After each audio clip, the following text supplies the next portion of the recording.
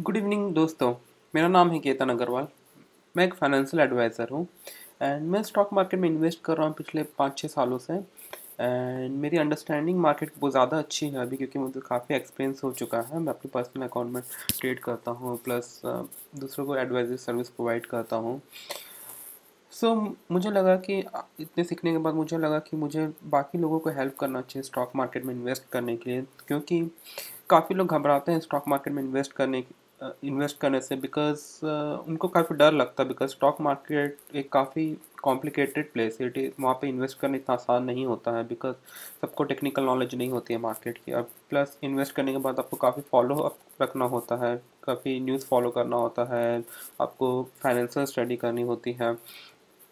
सो so, वो सब दिक्कतें आती हैं। और एक ये भी वजह होती है कि काफ़ी लोगों ने ऑलरेडी स्टॉक मार्केट में इन्वेस्ट किया होता है और उन्होंने काफ़ी पैसे डुबा चुके होते हैं स्टॉक मार्केट में या तो उन्होंने अपने रिलेटिव या किसी दोस्त को देखा होता है मार्केट में पैसे खोते हुए तो वो स्टॉक मार्केट में इन्वेस्ट कर, नहीं करते हैं। सो so, इससे क्या होता है अगर जो भी वो पैसे कमाते हैं अपने सेविंग्स करते हैं उससे पार्ट ऑफ़ द सेविंग वो कहाँ इन्वेस्ट करते हैं अपने फिक्स डिपॉजिट में करते हैं सेफ्टी की वजह से। बट क्या होता है वो अपने फिक्स डिपॉजिट में सिर्फ़ सात परसेंट साढ़े सात परसेंट ही कमा सकते हैं। बट अगर वो स्टॉक मार्केट में इन्वेस्ट करो पैसा को तो पंद्रह से बीस परसेंट पच्चीस percent C A ji are के हिसाब से वो कमा सकते हैं चार से पाँच सालों में। याद रखें स्टॉक मार्केट में हम हमें लंबा इन्वेस्ट करना चाहिए छोटा इन्वेस्टमेंट सबके लिए नहीं होता है। सो so, अगर आप कंपाउंड करेंगे पाँच साल के लिए फिक्स डिपॉजिट और स्टॉक मार्केट को आपको जो डिफरेंस मिलेगा वो बहुत ज़्यादा मिल जाएगा। दोनों कंपेयर करेंगे तो सपोज़ अगर आप एक लाख रुपए इन्वेस्ट करते हैं फिक्स डिपॉजिट में साढ़े सात परसेंट इंटरेस्ट के हिसाब से तो पाँच सालों के बाद आपको मिलेगा around one lakh forty three thousand rupees और सेम पैसा अगर आप स्टॉक मार्केट में करते हैं और आपको पैसा पच्चीस परसेंट से ग्रो होता है पाँच सालों, पाँच पाँच सालों तक तो आपको मिल जाएगा तीन लाख के आसपास। ठीक है तो अगर डिफरेंस कंपेयर करें तो बहुत ज़्यादा डिफरेंस है यहाँ पे। सो so, इस पर्टिकुलर वीडियो में मैं क्या करने वाला हूँ एक स्टॉक को एनालाइज करने वाला हूँ ठीक है?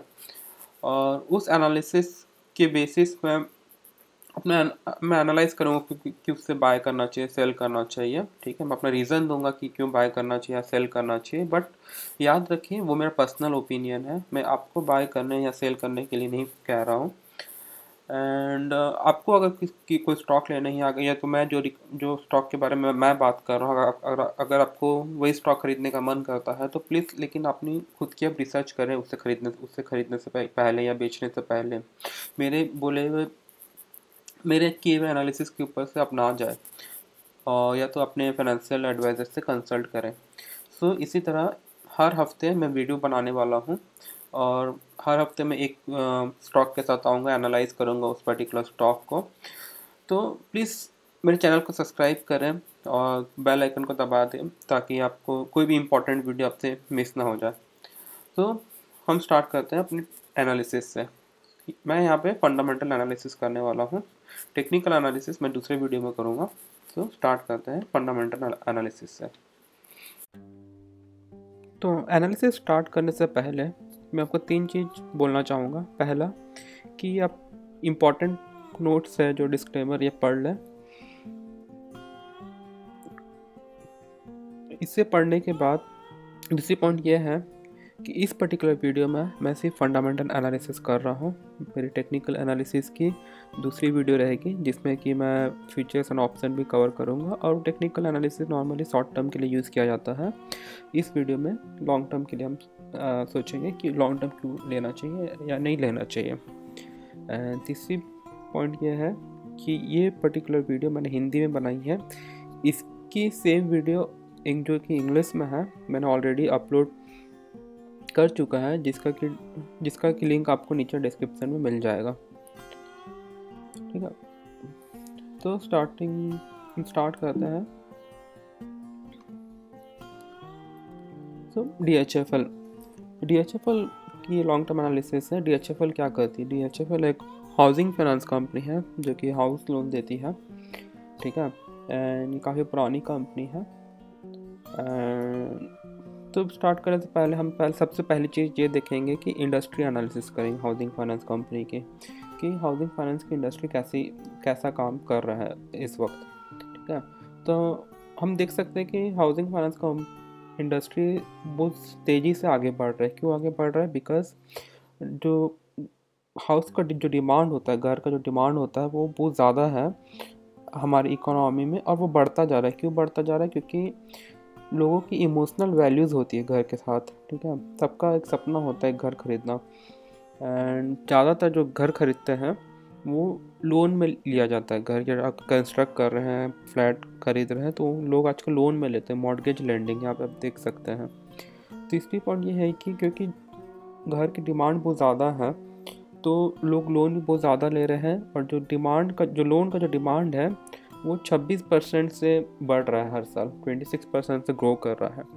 तो इससे क्या होता है कि इससे कंपनी को बहुत फ़ायदा हो जाता है क्योंकि उनकी डिमांड भी वैसे ही बहुत ज़्यादा बढ़ेगी।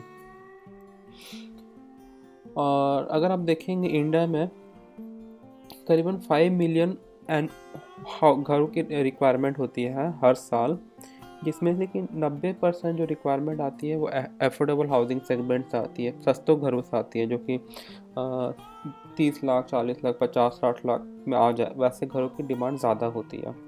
और हमारी इकोनॉमी में डिमांड और सप्लाई के बीच में गैप भी काफ़ी है। टेन परसेंट जो है सप्लाई कम है डिमांड से। तीसरी पॉइंट ये है यहाँ पे कि जो स्मार्ट सिटीज़ आने वाली है, इंडिया में आ रही है स्मार्ट सिटीज़, उससे क्या होगा?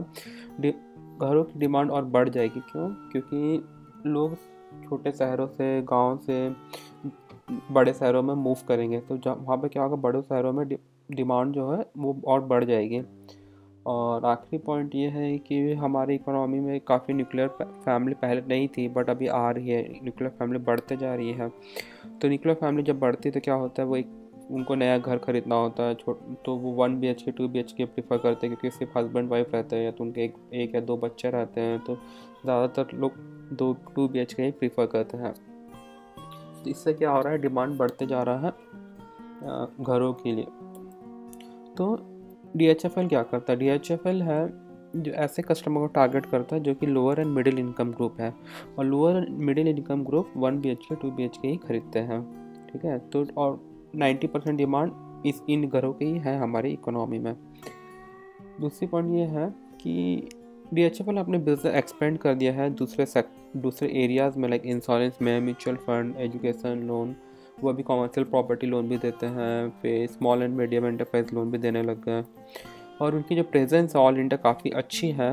182 ब्रांचेस हैं उनके 146 सर्विस सेंटर है, वो अठारह सर्कल्स में काम करते हैं। अगर उनकी कुछ स्ट्रेंथ देखेंगे आप डी एच एफ़ एल की तो उनका डिस्ट्रीब्यूशन नेटवर्क बहुत अच्छा है। उनकी जो इंडस्ट्री का एक्सपीरियंस है, वो बहुत ज़्यादा अच्छा एक्सपीरियंस है उन्होंने।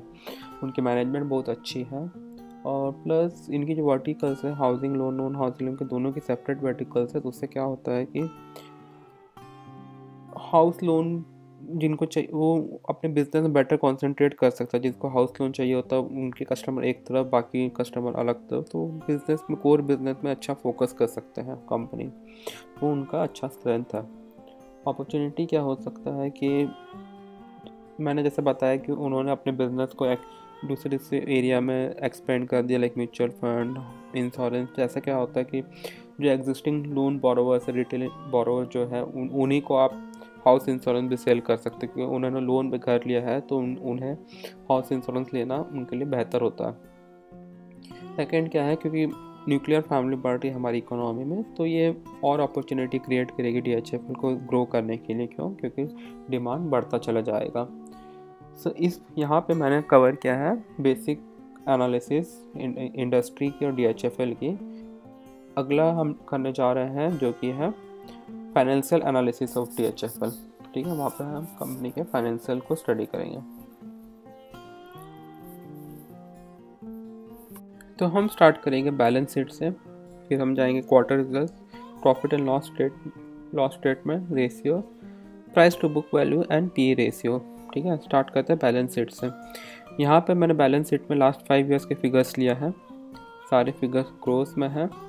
एंड ध्यान रखें, मैं इस बैलेंस शीट में बैलेंस शीट में सारी आइटम्स नहीं लिया हूँ, सिर्फ़ इंपॉर्टेंट आइटम्स लिया हूँ, जो कि डी एच एफ़ एल के एनालिसिस के लिए ज़रूरी है। बाकी आइटम नहीं लिया हूँ। आप देख सकते हैं लाइब्रेटी साइड मैंने तीन आइटम ली है। एसेट साइड में सिर्फ़ एक वन आइटम ली है।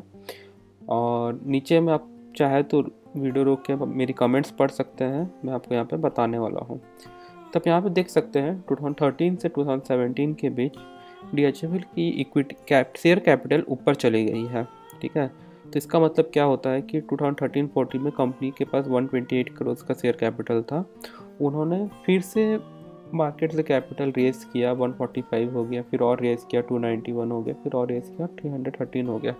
तो कंपनी अगर बार बार कैपिटल रेज करती है मार्केट से फॉलो पब्लिक ऑफरिंग के थ्रू या जैसे भी तो उसे अच्छा कंसिडर नहीं किया जाता है। क्यों अच्छा कंसिडर नहीं किया जाता है? क्योंकि लगता है कि कंपनी अच्छा से परफॉर्म नहीं कर पा रही अच्छे से प्रॉफिट कमा नहीं पा रही कैश फ्लो कम कंपनी पास एनफ नहीं है मार्केट सस्टेन करने के लिए, इसलिए वो बार बार कैपिटल रेज कर रही है। लेकिन इस पर्टिकुलर कंपनी के केस में वैसा नहीं है, ठीक है? क्यों? क्योंकि कंपनी की जो रिटर्न ऑन इक्विटी परसेंटेज है, वो उन्होंने मेंटेन रखा है फिफ्टीन परसेंट के आसपास उन्होंने मेंटेन रखा है बार बार कैपिटल रेस करने की वजह से। का मतलब क्या होता है? पहले वो जितना कमा रहे थे, जितना परसेंटेज कमा रहे थे, ज़्यादा कैपिटल होने के बाद भी वो ज़्यादा ही कम, और ज़्यादा कमाए, उतना परसेंटेज के हिसाब परसेंटेज उन्होंने मेंटेन रखा है, उनकी परसेंटेज बिलो नहीं हुई है। तो उससे क्या पता चलता है कि उन्होंने अपने नए फंड्स को बहुत एफिशिएंटली यूटिलाइज किया है। ठीक है? नेक्स्ट है टोटल रिज़र्व कंपनी का टोटल रिज़र्व आप देख सकते हैं। 2013 में 3108 करोड़ था, जो कि बढ़ के हो गया 7682 करोड़ तो ये बहुत अच्छा साइन है क्योंकि कंपनी के पास काफ़ी ज़्यादा रिज़र्व है। तो रिज़र्व क्या होता है कि वो कंपनी अपने पास कुछ part of profit as reserve रखती है तो कुछ ताकि कुछ अनसर्टन इवेंट आ जाए, कुछ कंटीजेंसी आ जाए तो उसे अच्छे से डील कर सके। तो कंपनी के पास काफ़ी फंड है। आप लास्ट पाँच सालों में देखें देखें, अगर देखेंगे तो 147 परसेंट इंक्रीज़ हो गया है। नेक्स्ट है लॉन्ग टर्म बोरोइंग्स तो यहाँ पे अगर देखेंगे लॉन्ग टर्म बोरोइंग कंपनी के पास काफ़ी है।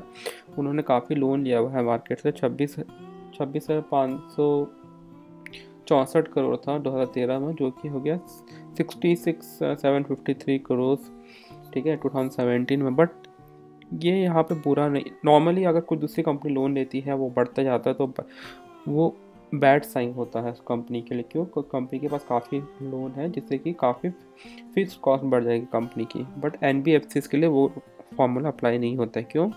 क्योंकि इनकी बिज़नेस स्ट्रैटेजी वही होती है, वो क्या करते हैं, ये जो लोन होता है, वो दूसरे फाइनेंशियल इंस्टीट्यूशन से लेते हैं, कम इंटरेस्ट रेट में, और वो पैसे वो रिटेल बोरोवर्स को देते हैं, ज़्यादा इंटरेस्ट रेट में, और बीच में वही प्रॉफिट कमाते हैं।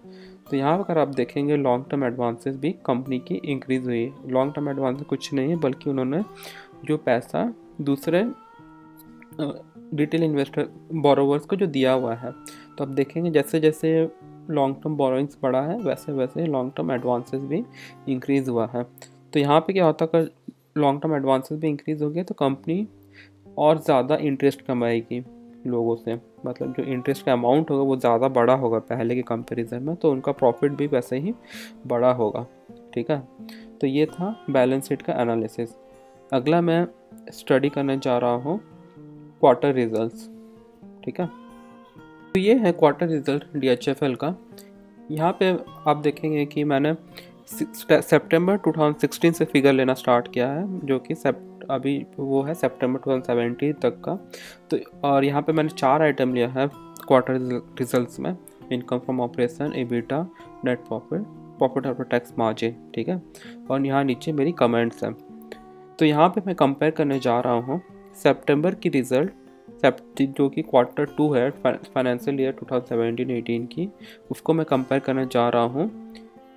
2017-18 की क्वार्टर वन से। ये है जून 2017 ये है सितंबर 2017 और इसको मैं कंपेयर करूँगा लास्ट ईयर सितंबर 2016 से भी, ठीक है? तो हम ये देखते हैं कि इनकम उन इनकम फ्रॉम ऑपरेशन कैसे ग्रो हुआ है। इनकम फ्रॉम ऑपरेशन क्या होता है उनका? जो वो बेसिकली इंटरेस्ट कमाते हैं अपने लोन बोरोवर्स से, ठीक है? तो हम यहाँ पे देख सकते हैं, अगर हम कंपेयर करेंगे जून 2017 से Q1 एंड ये है Q2 तो 8.45 परसेंट का ग्रोथ हुआ है यहाँ पे, ठीक है? तो अगर हम मैंने यहाँ पे कमेंट में लिखा है नीचे हम्म, अगर हम देखेंगे the growth percentage from last quarter is above when it is compared with the other housing finance companies. तो दूसरे हाउसिंग फाइनेंस कंपनीज़ हम कंपेयर करेंगे तो यहाँ पे ग्रोथ परसेंटेज ज़्यादा है बाकी दूसरे financial companies finance housing finance company से। तो एक अच्छी साइंग है ये। अगर हम इसको कंपेयर करेंगे अभी सितंबर 2016 से तो यहाँ पे हम ग्रोथ दे सकते हैं 20.46 परसेंट का। यहाँ पे मैंने कमेंट में लिखा है and the growth percentage from September 2016 is as per the industry पिछले पिछले साल के कंपैरिजन में growth D H F L की, बाकी कंपनी के मुकाबले सेम है। और अगर हम खाली क्वार्ट पिछले क्वार्टर से कंपेयर करेंगे तो डी एच एफ़ एल की ग्रोथ बाकी कंपनी के मुकाबले ज़्यादा है। ठीक है? अगला है ईबीटा ईबीटा मार्जिन यहाँ पर आप देखेंगे तो अगर इसको कंपेयर करें तो ज़्यादा होता है क्योंकि इनकी जो कॉस्ट होती है एन की, वो मेजर कॉस्ट इंटरेस्ट होता है। और वो इसके बाद आता है। इसका मतलब क्या होता है? ईबीटा का earning before interest tax depreciation amortisation तो यहाँ पे इंटरेस्ट का जो मेजर कॉस्ट है, वो अभी डिडक्ट नहीं हुआ है। इसलिए बीटा नंबर इनका बड़ा होता है यहाँ पे। और उसमें भी ठीक अच्छी ग्रोथ है, लेकिन यहाँ पे वो थोड़ी और एफिशिएंसी बढ़ा सकते हैं। उन्होंने बढ़ाया है एक्चुअल में एफिशिएंसी देखेंगे आप, क्योंकि इनकम फ्रॉम ऑपरेशन ज़्यादा बढ़ा है, लेकिन उनका कॉस्ट जो परसेंटेज है, वो कम बढ़ा है।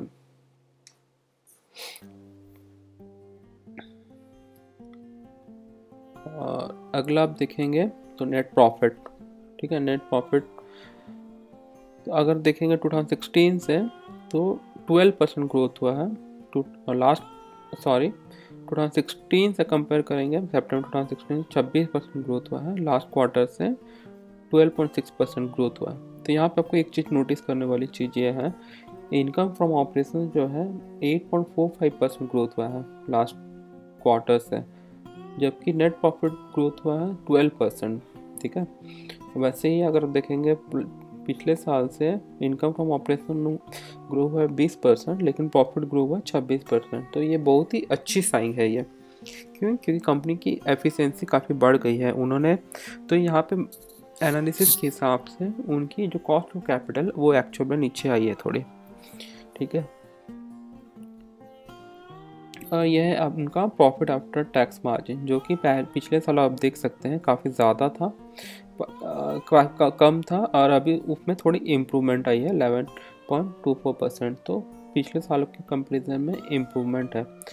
यहाँ पे आप बड़ा नंबर जो देख रहे हैं वो इसलिए देख रहे हैं क्योंकि उनकी फाइनेंशियल स्टेटमेंट में एक एक्सेप्शनल आइटम है उनके प्रॉफिट एंड लॉस अकाउंट में। इसलिए यहाँ पे आप एक बड़ा नंबर देख रहे हैं अदरवाइज़ ये भी इसी रेंज में हो, होना चाहिए था। ठीक है? तो मैंने नीचे क्या लिखा है? In the above analysis we can see growth percentage has improve in the last quarter तो ये एनालिसिस हमें ये पता चलता है कि जो उनकी ग्रोथ परसेंटेज लास्ट क्वार्टर से इम्प्रूवमेंट हुआ है ज़्यादा कंपेयर टू पास्ट ठीक है? और अगर ये चीज़ कंटिन्यू होता है तो हम अच्छा ग्रोथ देख देख सकते हैं डीएचएफएल के शेयर में आने वाले एक दो सालों में, ठीक है? तो नेक्स्ट हम अभी स्टडी करने जा रहे हैं प्रॉफिट एंड लॉस स्टेटमेंट तो ये है प्रॉफिट एंड लॉस स्टेटमेंट ठीक है, जो कि पिछले पाँच सालों की starting from March two thousand thirteen से मार्च टू थाउज़ेंड सेवेंटीन तक की है। मैंने यहाँ पे तीन फिगर कवर किया है income from operation profit after tax and EPS ठीक है? और यहाँ पे नीचे मेरी कमेंट्स है। तो starting from income from operation यहाँ पे आप देख सकते हैं टू थाउज़ेंड थर्टीन से टू थाउज़ेंड सेवेंटीन तक काफ़ी अच्छी ग्रोथ हुई है। Hundred and thirteen percent grow हो गई पिछले पाँच सालों में। और पिछले साल के कंपैरिजन में 21 परसेंट ग्रोथ हुआ। Two thousand sixteen seventeen compare करेंगे तो 21,000 का 21 परसेंट का ग्रोथ है। बट यहाँ पे गौर करने वाली बात यह है कि मैंने यहाँ पे लिखा है when it is compared within the industry then the growth percentage from last year is little below the industry average अगर हम ये फिगर्स को कंपेयर करेंगे 2016 को 2017 से जो 21 परसेंट की ग्रोथ है वो अच्छी है लेकिन इंडस्ट्री एवरेज से बिलो है वो नंबर ठीक है?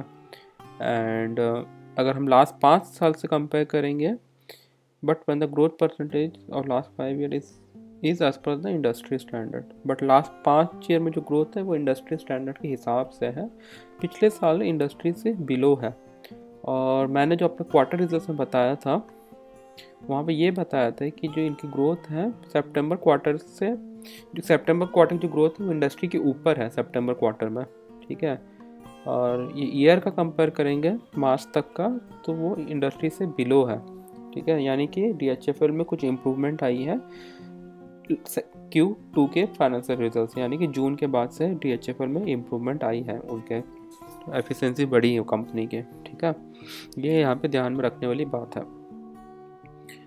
अगला है प्रॉफिट आफ्टर टैक्स यहाँ पे अगर आप देखेंगे अगेन फिर से तो 2013 का 451 क्रोस है एंड 2017 का हम ये फिगर लेंगे। यहाँ पे एक्सेप्शनल आइटम है, उसको हटा के 927 करेक्ट फिगर होगा लेने लेने के कंपेयर करने के लिए।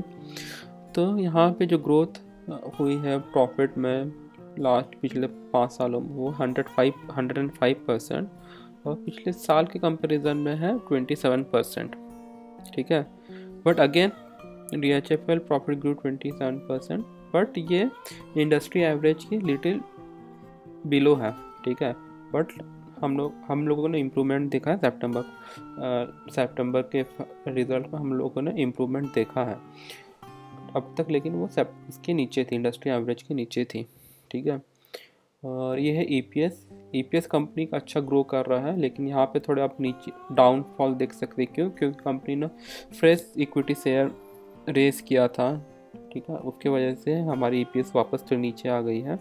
और कुछ सालों में वो जब नए इक्विटी जो रेस किया था उससे जो प्रॉफिट होगा उनके वो इन्वे, फ्रेश इन्वेस्टमेंट में तो वापस ई एस अच्छे से ग्रो करने लगेगा ठीक है?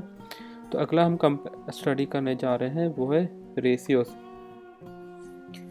रेशियोस में हम चार चीज़ स्टडी कर रहे हैं EBITDA margin profit after tax margin return on asset return on equity ठीक है? तो ये पिछले पाँच सालों की फिगर है, यहाँ पे आप देख सकते हैं टू थर्टीन से टू सेवेंटीन और इसका हम कंपेयर करेंगे इंडस्ट्री के साथ। इंडस्ट्री में मैंने पाँच कंपनी ली है, जो अदर हाउसिंग फाइनेंस कंपनीज़ है Gruh finance Canfin homes L I C housing finance P N B housing and India bull housing finance ठीक है? तो ईबिटा मार्जिन आप देखेंगे कंपनी की डी एच एफ़ एल की तो काफ़ी अच्छी है और एज पर इंडस्ट्री ही है, ठीक है? ज़्यादा बिलो नहीं है इंडस्ट्री की। तो ईबिटा मार्जिन मैंने वजह से बताया था डी एच कोई भी एन बी एफ़ सी की बहुत ज़्यादा होती है। क्यों? क्योंकि उनकी जो मेजर कॉस्ट होती है, वो इसके ईबिटा मार्जिन ईबिटा के बाद आती है, जो कि इंटरेस्ट होता है। प्रॉफिट नेक्स्ट है profit after tax profit after tax देखेंगे तो वो है अराउंड टेन परसेंट के आसपास हमेशा रहा है डी एच एफ़ एल का पिछले चार सालों में, ठीक है? बट अगर कंपेयर करेंगे आप उसको इंडस्ट्री के साथ तो डी एच एफ़ एल की प्रॉफिट आफ्टर टैक्स मार्जिन बहुत कम है। अगर आप देखेंगे दूसरे कंपनी के नाइनटीन परसेंट है सेवनटीन परसेंट है thirteen thirteen twenty eight percent है, ठीक है? इस रीज़न से क्या हो रहा है? डी एच एफ़ एल थोड़ा बाकी कंपनी के रीज़न में पीछे है। क्यों? क्योंकि उनकी कॉस्ट ऑफ़ कैपिटल ज़्यादा है। बट हम लोगों ने यहाँ पे इम्प्रूवमेंट देखा है क्वार्टर टू के रिज़ल्ट में तो वो वो हमें ध्यान रखना है और आने वाले टाइम में ये देखना है कि और इम्प्रूवमेंट कंपनी कंटिन्यू करता है कि नहीं। अगर कंटिन्यू करता है तो ग्रोथ बहुत अच्छा देख सकते हैं इस पर्टिकुलर कंपनी में। यह है अब return on asset percentage return on asset अगर देखेंगे तो इंडस्ट्री के हिसाब से सही है। और यहाँ पे हमने अच्छी ग्रोथ भी देखी है लास्ट लास्ट ईयर के कंपैरिजन में। और return on equity again as per industry आप कंसिडर कर सकते हैं बट थोड़ी बिलो इंडस्ट्री है, यहाँ पे भी थोड़ी इम्प्रूवमेंट आ सकती है अगर हमारी प्रॉफिट कंपनी की बढ़ेगी। प्रॉफिट कैसे बढ़ेगी? अगर कॉस्ट ऑफ़ कैपिटल जो कम हुआ है, वो कंटिन्यू रहता है तो प्रॉफिट बढ़ जाएगी तो रिटर्न ऑन इक्विटी भी इंडस्ट्री के हिसाब से हो जाएगा। ठीक है? नेक्स्ट हम कवर करने जा रहे हैं price to book value and PE ratio तो ये है कंपनी की price to book value ratio and यह है प्राइस अर्निंग रेशियो ठीक है? तो डी एच एफ़ एल की जो price to book value price to book value है, वो है two point four eight times जबकि इंडस्ट्री एवरेज है फाइव टाइम्स ठीक है? तो डी एच एफ़ एल की जो बुक वैल्यू है, वो है two forty six rupees and current market price है two sixty six two sorry six hundred and eleven point five five rupees तो अगर मल्टीप्लाई करेंगे two forty six into two point four eight तो आपको मिल जाएगा six one one point five five ठीक है, जो कि करंट मार्केट प्राइस है। बट यहाँ पे देखने वाली ये बात है कि जो price to book value ratio है, वो इंडस्ट्री से बिलो है डी एच एफ़ एल की। बाकी कंपनियों की अब फाइव के आसपास है तो D H F L two point four eight है। तो क्या कारण है कि डी एच एफ़ एल बाकी कंपनी से पीछे चल रहा है? लोग कम पे करने के लिए चाह रहे हैं डी एच एफ़ एल के लिए क्यों? क्योंकि कंपनी की कॉस्ट ऑफ़ कैपिटल ज़्यादा थी। वो कम प्रॉफिट कमा रहा था बाकी कंपनी के कंपेरिजन में। बट वो गैप जो था, वो हम, हमें कम होता हुआ नज़र आ रहा है क्वार्टर टू के रिज़ल्ट से। तो अगर ये कंटिन्यू होता है तो हम एक्सपेक्ट कर सकते हैं कि शायद ये इंडस्ट्री के साथ कैचअप कर ले इंडस्ट्री के बराबर चल सके।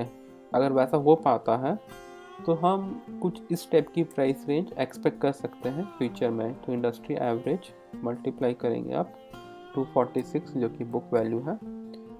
तो ऐसी प्राइस आनी पॉसिबल है। ठीक है? सॉरी यहाँ पे टू फोर्टी सिक्स ये प्राइस आनी पॉसिबल अगले एक दो साल में अगर कंपनी में इम्प्रूवमेंट आती है तो। ठीक है? और अगला है price earning ratio price earning ratio D H F L की नाइनटीन पॉइंट नाइन फाइव जबकि इंडस्ट्री एवरेज ट्वेंटी एट तो क्यों बिलो इंडस्ट्री एवरेज है? सेम क्योंकि प्रॉफिट मार्जिन कम है, बाकी कंपनी के कंपैरिजन में। ठीक है? तो कंपनी का E P S around thirty point six four अगर चीज़ें बदलती है, या कॉस्ट ऑफ़ कैपिटल कम हो कम हो कम जो कम हुआ है, वो अगर मेंटेन रहता है, या तो और भी कम होता है कंपनी की एफिशिएंसी बढ़ती है तो ये कंपनी इसका पी रेशियो भी एज पर इंडस्ट्री एवरेज के आसपास आ सकता है। तब हम एक नया फिगर फिर से एक्सपेक्ट कर सकते हैं इस रेंज में। अगर हम मल्टीप्लाई करेंगे ये दोनों को तो ये नंबर तो मेरे को लगता है अगले एक से दो साल के अंदर डी एच इस प्राइस रेंज के अंदर कहीं ट्रेड हो, होना चाहिए ठीक है? तो अगर आपको लगता है ये सही है तो आप डिसीज़न ले सकते हैं आपको बाय लेना चाहिए नहीं लेना चाहिए। मैं मेरी पर्सनल व्यू है तो मेरे को मेरे को लगता है बाय लेना चाहिए। ये अच्छी व्यू है बेस्ड जो मैंने स्टडी की है, काफ़ी पॉजिटिव दिख रहा है। बट ये मेरी पर्सनल ओपिनियन है। अगर आपको बाय लेना हो तो आप अपनी खुद रिसर्च करें थोड़ी सी, इसको लेने से पहले फिर और ध्यान रखें मार्केट में थोड़ी रिस्क होती है लाइक मार्केट रिस्क होता है, वो सब का ध्यान रखें। और या तो अपने फाइनेंशियल एडवाइज़र से कंसल्ट करें, ठीक है? तो इस वीडियो में मैंने कवर किया है। फंडामेंटल एनालिसिस, मैं इसकी अगली वीडियो बनाऊँगा, जो कि हिंदी और इंग्लिश में दोनों में बनाऊँगा, जिसमें कि मैं टेक्निकल एनालिसिस करूँगा फ्यूचर ऑप्शन के बारे में बताऊँगा। तो वो वीडियो आप ज़रूर देखें। और ऐसी वीडियो को देखते रहने के लिए प्लीज़ सब्सक्राइब करें मेरे चैनल को और बेल आइकन को दबा दें, ताकि आपको कोई भी वीडियो आपसे मिस ना हो जाए। ठीक है? Thank thank you for watching my video bye